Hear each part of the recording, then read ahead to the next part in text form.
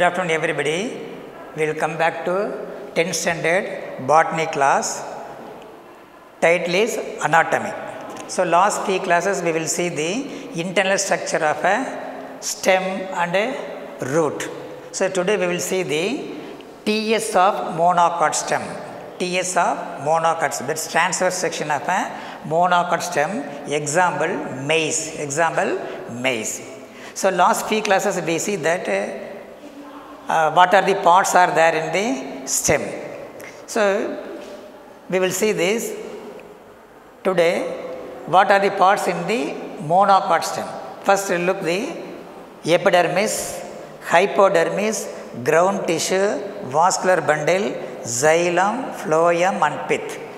But in previous class we will study the dicot stem, epidermis, cortex and the cortex is distinguished into three layers.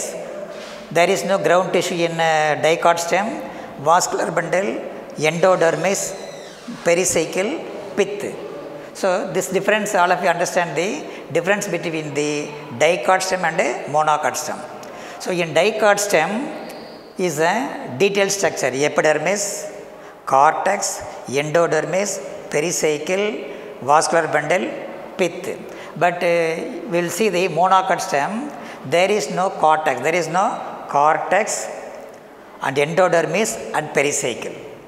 So, first one is a epidermis. So, of you look this chart, epidermis.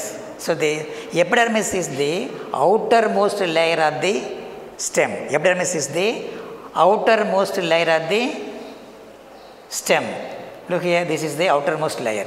It is made up of a single layer of thin-walled parenchymatous cell. It is made up of a thin-walled parenchymatous cells. And multicellular hairs are absent. But last class we see that uh, TS of dicot stem, multicellular hairs are present, but here also multicellular hairs are absent. And then here and there some places there is a lesser number of stomata are present, lesser number of stomata are present. The epidermis is covered by a thick cuticle. So look this one, this outer region is called as a thick layer is a deposition of a cuticle. It protects the internal tissue, protect the internal tissue. So next is called as a hypodermis. But in dicot stem we see that after the uh, epidermis is called as a cortex. But here there is no cortex. We will see this region is called as an hypodermis. What's the layer? Hypodermis. Understand? So below the epidermis, few layers of sclerenchymatous cells, few layers of a sclerenchymatous cell is called as a hypodermal layer. Hypodermal layer. It is interrupted by many chlorenchyma cells. Many chlorenchyma cells. So this uh, hypodermis is made up of many layer of sclerenchymatous cells. Here and there are interrupted by chlorenchyma cells. So the chlorenchyma cells give rigidity to the plants. When the plant is an young, it's also standing erect, standing erect. This a rigidity to the stem. And chlorenchyma is also involved in a photosynthesis, involved in a photosynthesis. And then below this hypodermis layer is called as an ground tissue. So just below the hypodermal layer is called as a, so this layer is, this full layer we are called as a ground tissue, not cortex, not a cortex. This layer is called as a fully called as a ground tissue. It is made up of thin-walled parenchymatous. It is made up of a thin-walled parenchymatous cell is called as a ground tissue. This is a ground tissue. So in this in this ground tissue there is a number of so this layer is called as a ground tissue is made up of a number of a vascular bundle. Vascular bundles are also there. So these vascular bundles consist of a xylem and phloem. Xylem and a phloem. So this color is a this color is a red color patches are called a xylem. Then this patch is called as a phloem. So in this uh, total structure of this uh, monocot stem is the vascular bundle is embedded in the ground tissue, embedded in the ground tissue. It is a skull shaped, it is a skull shaped. So look here, it's look like our skull. It's look like our skull. This skull is a skull. It's look like a mouth and eye. It's look like it's, it's look like a skull-shaped structure. These bundles are arranged in a scattered manner not in a uniform. But in the last class, we will see the dicot stem, the vascular bundle arranged in a ring around the pith. But here is not in around the pith, they are also scattered here and there. So the vascular bundle is a conjoined, collateral, endarch, closed. The vascular bundle is arranged in a scattered manner. It is described as a conjoined. Already we, we, we studied conjoined collateral, end arc. Endarch means uh, the protoxylem is facing towards the inner side, face towards the inner side. The metaxylem is facing towards the outer side. Outer side. This is the outer side, this is the inner side. So this type of arrangement is called the eh, endarch xylem. If stem means you should understand the, the vascular bundle is a endarch condition. Here the cambium is absent in this system, they are called as a closed. So students all of you listen here. Say the, in this first worksheet, all of you commit mistakes. Understand? When cambium is absent, so that is question is when the cambium is absent means uh, closed. But all of you write the answer in uh, open. So you correct it. Closed means uh, vascular cambium is absent in a vascular bundle. It is called closed and then this uh, the primary xylem is called as a protoxylem or first formed xylem is called as a protoxylem is integrated or destroyed into producing a large cavity. Producing a large cavity this cavity we are called as an protoxylem lacunae protoxylem lacunae so listen here this protoxylem is disintegrated or destroyed to producing a large cavity in this region. So they are called as an protoxylem lacunae. Sometimes asking the one more question. Uh, what is a protos? What is a protoxylem lacunae? In monocot stem, in monocot stem, so the protoxylem is disintegrated, producing a large cavity. It is called as an protoxylem lacunae. Protoxylem lacunae. Next one, phloem. So phloem consists of, uh, all of you know that components of a phloem. That is an uh, uh, sieve tube, companion cell, phloem parenchyma and phloem fiber. But here phloem parenchyma and phloem fibers are absent. Somebody asked one more question. Phloem parenchyma is absent, phloem parenchyma fibers are absent in dash. They will, they will ask, you will understand the monocot stem. So generally pith is absent. When generally pith is up because of this also the vascular bundles are also arranged in the this one. And listen here, the mature vascular bundles are located only in the center of the stem, but the first formed or the smaller vascular bundles are arranged in the peripheral peripheral layer peripheral layer. So all of you understand describe the structure of a monocot stem. If so you should draw this picture and write all the notes. So what's the difference between the dicot stem and a monocot stem? So you should uh, write the important points in a, uh, what's the main point in a dicot stem and a monocot stem. So you easily understand. So next topic is TS of dicot lip. Describe the structure of TS of dicot leaf. So the dicot leaf shows the following parts epidermis, mesophyll, vascular bundle. Only there are three parts are there epidermis, mesophyll and vascular bundle. So uh, in the last few, few headings we will see the epidermis, cortex, endodermis, pericycle, pith. But here also very simple structure.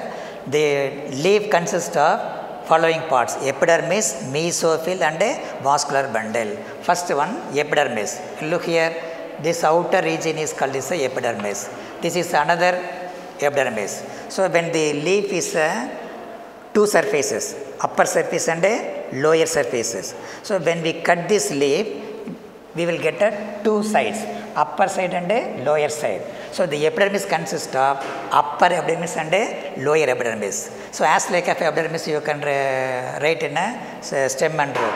So epidermis is made up of single layer thin walled parent thin walled parenchymatous cell. It is also covered by the outer thick cuticle, outer thick cuticle. Here also unicellular hairs are present. Here and there unicellular hairs are present. Then in the lower surface, uh, the lower epidermis. This also the same for the up- upper epidermis. It is made up of single layer of thin-walled parenchymatous cells. But only one difference is the the number of stomata is more in lower epidermis than the upper, upper epidermis. This is a very very important point. In the lower surface, in the lower epidermis, the stomatal opening is uh, numerous. But in the upper epidermis skull is a lesser in number of uh, stomata.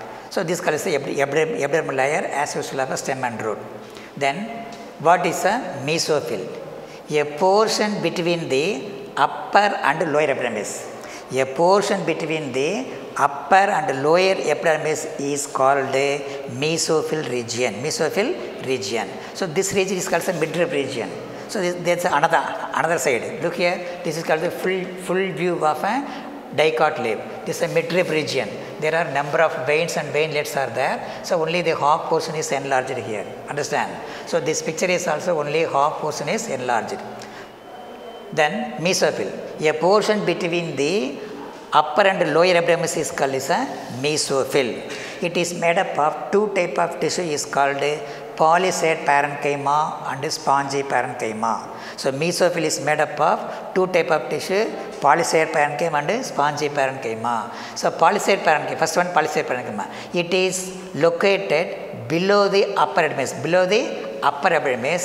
It is a vertically elongated, vertically elongated cells without any intercellular, without any intercellular space. That is closely packed, closely packed, vertically elongated, closely packed cells. These cells are also contains more chloroplast, more chloroplast. It involves in a photosynthesis. It involves in a photosynthesis. When, when sunlight is falls on the leaf, that is trap the sunlight and uh, making for the food. This is also involved in a photosynthesis. So the palisade parenchyma is present in the upper, upper epidermis. So below the palisade parenchyma is called as a spongy parenchyma. Spongy parenchyma. These cells are also loosely arranged. Loosely arranged, it producing a large cavity. Large cavity is also present in this spongy parenchyma. So spongy parenchyma is also loosely arranged cells contains less chloroplast. When compared to the palisade parenchyma, it is a less chloroplast, less less chloroplast cells.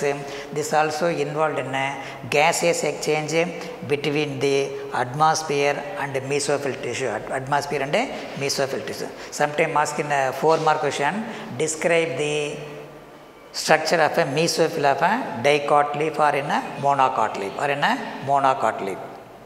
Spongy parenchyma. Next one is called the vascular bundle. So where there is a vein, where there is a vein, at that region is called as a vascular bundle. This is called as a vascular bundle. So when you see this is called as a vascular bundle, this region is called as a mid midrib region. Midrib region. So the vascular bundle is surrounded by the vascular bundle is surrounded by a thin walled, surrounded by a thin walled parenchymatous cell is called as a bundle sheath. What's the name? Bundle sheath. So each vascular bundle is surrounded by a thin walled parenchymatous cells are called bundle sheath. Already studied in a three, four, four headings. In dicot stem, in dicot stem, the bund, bundle, the pericycle is made up of a scleron, sclerenchymatous. In monocot stem, the uh, vascular bundle is made up of a thin-walled parenchymatous cell. Here in dicot leaf, each vascular bundle is covered by a thin, thin-walled parenchymatous cell is a bundle sheath. So inside consists of as like of a stem and root, xylem and phloem. Xylem and phloem. So look here. Here also xylem is also facing towards the up, upper epidermis. Phloem is located at the lower. Lower epidermis, lower epidermis. So xylem is, uh, look here, the protoxylem is facing towards the outer side and then xylem is located at the lower side. So xyl, xyl, xylem consists of uh, tracheids, vessels, xylem parenchyma and uh, fiber. Then phloem consists of sieve tube component cell. So as like if the phloem parenchyma and fiber is absent in the leaves, absent, the leaf. Sometime asking this question, describe the structure of mesophyll or in a vascular bundle. So we will see the next class in a describe the structure of a monocot leaf. So monocot leaf has some specialized structure. So students listen here. In the worksheet one, they are the most of them are also not submitted in worksheet. You have to prepare the topic and then send it very quickly. If you send the worksheet, what are the mistakes committed to you? So understand. So how you are also looking the video classes, how to understand your subject. So please submit all of you, whether it is a right or wrong. You don't bother about that. You should uh, submit your worksheet very quickly. So then only I had prepared for so many worksheet. If you continuously have to do that work, I will send so many worksheet. Then subject will be very easy. If you neglect this uh, worksheet, you can't understand the subject. You and I also. Remember. So thank you, children.